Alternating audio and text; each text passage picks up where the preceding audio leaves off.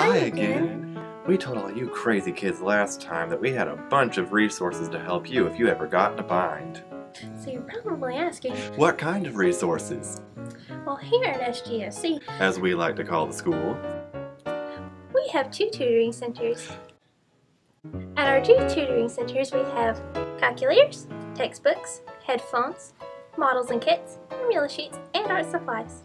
So if you don't want to spend your hard-earned cash on something you'll only use one semester, come see us instead. And with all that dough you just saved, you can even take your best girl out for an ice cream soda before the sock hop.